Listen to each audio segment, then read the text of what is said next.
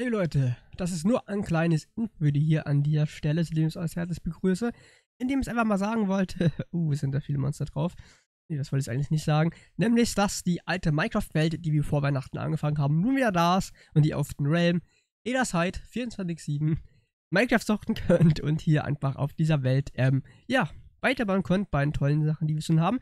Ich bin jetzt in Creative mal gegangen, um einfach mal rüber zu fliegen, mir von der Vogelperspektive anzuschauen, was hier alles abgeht das ist aber eine reine Survival-Welt, in der wir auch im Survival spielen werden. Und ja, wie gesagt, wenn ihr da Bock drauf habt, ähm, ja, könnt ihr gerne auch jederzeit so nachsäuen. Ihr könnt das sehen, was hier vieles Cooles gebaut worden ist. Sehr, sehr schön. Und da machen wir immer weiter. Mittwochsabend um 21 Uhr bis 22 Uhr im Livestream. Und wie gesagt, jederzeit für euch selbst, wenn die online kommt, könnt ihr den Realm aufrufen und zocken. In dem Sinne bedanke ich mich beim Zusehen von dem Infovideo und freue mich auf viele weitere schöne Spielstunden mit euch.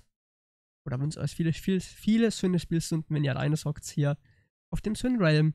Das ist eine richtig schöne Gamercodes Island entsteht. In dem Sinne, danke schön fürs Zusehen oder Gamercode City. Ich weiß nicht mal, wie ich es genannt habe. Damit ist auch wurscht. Eine schöne Stadt entsteht. In dem Sinne, danke schön fürs Zusehen. Macht's gut. Und ja, viel Spaß mit Minecraft, ne?